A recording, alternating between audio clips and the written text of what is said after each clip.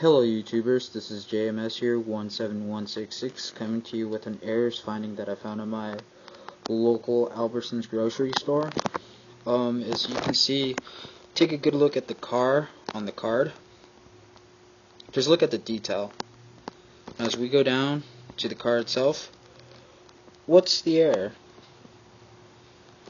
Take a good look.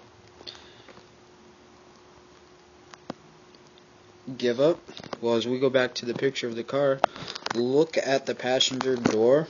As you can see, it has the side logo, and as we go back down, it's blank.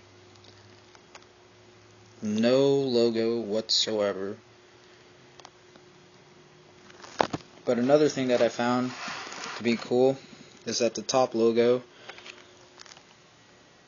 it's kind of not printed on right.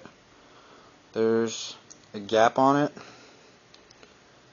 or in it, should I, or should I say. And then, as you can see, it has the hood logo, and then it has the emblem painted, which is cool, or which is, you know, good. Uh, but right there, past the glare, if you guys can see, on the back left fender, is that it has the red and blue stripe. But I don't know if the other side, the driver's door, has the logo or not. But yeah, this was, uh, was a you.